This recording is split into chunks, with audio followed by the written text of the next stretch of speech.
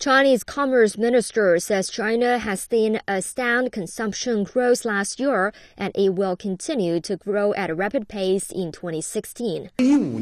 Consumption contributed 66.4% to China's economic growth in 2015, becoming the first driving force. To encourage consumption, the ministry will continue to promote supply side reforms to enhance the quality of goods and services, Gao said.